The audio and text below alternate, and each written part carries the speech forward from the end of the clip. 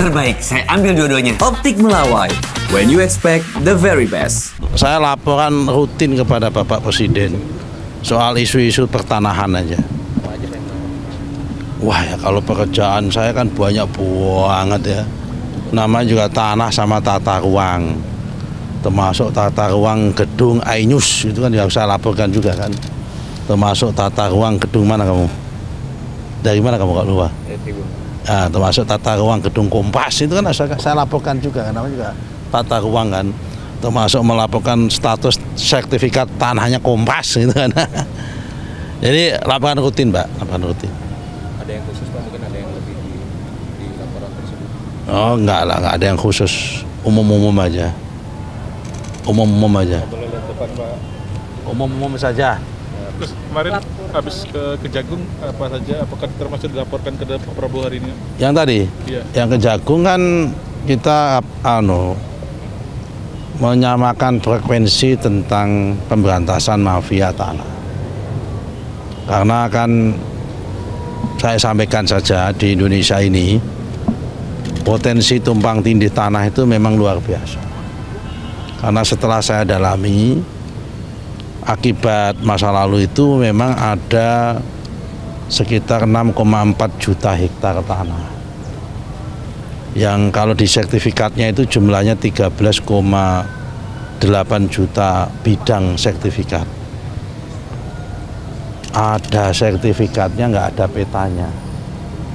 Nah ini memang potensi tumpang tindih.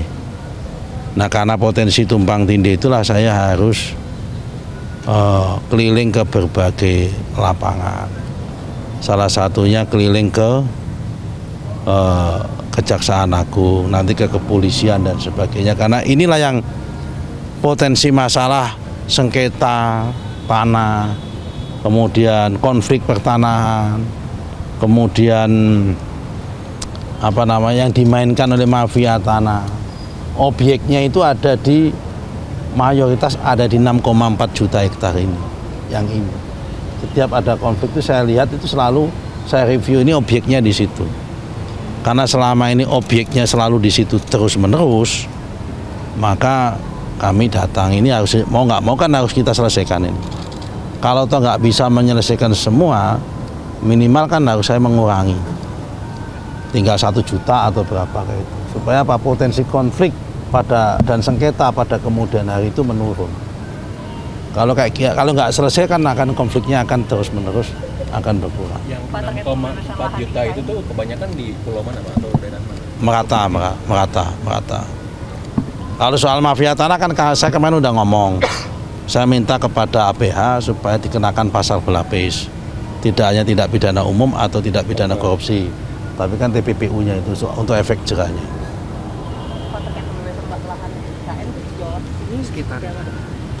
kalau IKN kan kewenangannya tadi kewenangannya IKN otoritas IKN kalau di sekitar IKN yang menopang di luar wilayah IKN itu kewenangan kita. Nah itu kita bebaskan kita perkenalkan sesuai dengan tingkat kebutuhan. Misal ada kebutuhan pembangunan bandara kebutuhan pembangunan apa dan sebagainya. Tapi di PPU di Pasir Penajam Utara kami sudah siapkan outstanding sekitar 3,1 ri- eh, eh, 3.100 hektar. Itu untuk kepentingan saya serahkan kepada Bank Tanah untuk menopang kepentingan logistik IKN mendatang. Apakah bandara apakah gudang apakah pelabuhan apakah nanti apa namanya eh, perumahan pekerja atau apa kalau dibutuhkan di, di situ. Yang di luar sekitar area eh, IKN bukan di kawasan IKN tapi di luar area IKN Pak, kalau karena yang, kalau IKN sendiri itu murni kewenangannya otorita IKN. Pak yang sebelumnya kan ada 2087 hektar Pak yang dibilang bermasalah di IKN Pak. Itu termasuk untuk lahan tol sama bandara Pak. Itu penyelesaian. Oh, sebenarnya bukan masalah. Yang bilang masalah, masalah siapa? Sebelumnya kan disebutnya masalah Pak. Bukan masalah. Jadi begini loh, itu HGU. HGU-nya habis, diambil alih. Memang kalau habis habis kan diambil alih negara. Yang lama keberatan diambil alih, kan kan. Kemudian yang lama keberatan diambil alih, ada sebagian penduduk menempatin, ya kan. Ya tinggal yang tinggal yang menempatin kalau itu rakyat kan ada kewajiban 30% tanah yang dikelola oleh land bank itu harus dibuat reforma agraria. Jadi orang yang menempati yang katakanlah orang yang sudah lama menempati di situ yang mengklaim di situ tinggal diatur dikasih bagian dilegalisasi untuk land reform atau land anu, land, anu pembagian land reform. Land reform ada dua strategi kan, dikasih tanah atau mereka udah kadung menduduki dilegalisasi. Nah karena mereka udah kadung menduduki dilegalisasi, tinggal masalah isunya adalah jumlah. Karena kalau land reform kan jumlahnya nggak boleh banyak, nggak boleh hektar-hektaran. Mungkin hanya setengah, kalau untuk mungkin setengah hektar, seperempat hektar. Kalau lahan pertanian mungkin maksimal 5 hektar dan sebagainya. Kalau untuk land reform, saya kira itu ya. Aman kan? Pak yang soal 537 perusahaan sawit kan katanya kena denda ya Pak? Maksudnya punya IUP tapi nggak punya HGU. Ya betul. Potensi dendanya berapa Pak dari 500? Kalau potensi dendanya sedang dihitung oleh eh, BPKP, kami minta BPKP menghitung. Jadi kan itu sejarahnya begini Mas. Menurut Undang-Undang 39 tahun 2014 pasal 42 undang-undang itu tentang perkebunan ya. Orang yang boleh berbudidaya menanam eh, tanaman perkebunan itu adalah orang yang mempunyai izin usaha perkebunan dan atau hak atas tanah. Pada tanggal 27 Oktober tahun 2016 pasal ini dibatalkan oleh Mahkamah Konstitusi.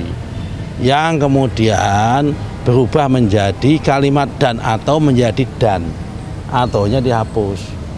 Karena dan ataunya berubah menjadi dan maka berarti setiap yang menanam kelapa sawit yang budidaya itu harus satu punya IUP perkebunan satu punya HGU nah akibat putusan itu ada 537 perusahaan kelapa sawit yang tidak punya HGU berarti sejak tahun 2017, 18, 19 20, 21, 22, 23, 24 ya kan? Selama 8 tahun ya. Selama 8 tahun yang bersangkutan itu menanam di atas tanah negara tanpa izin.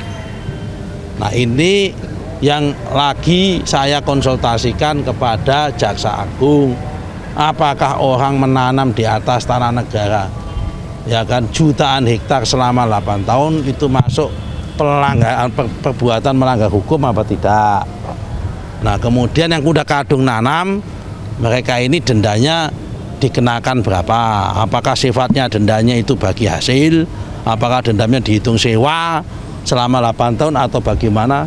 Kita serahkan sama juru hitungnya BPKP yang untuk menghitung. Tar- targetnya kapan Pak? Eh, Targetnya terima se- sampai Desember ini harus selesai.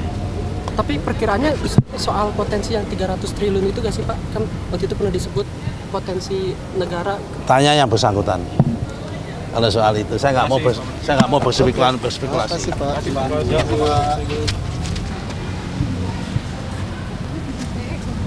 Terbaik, saya ambil dua-duanya. Optik Melawai. When you expect the very best.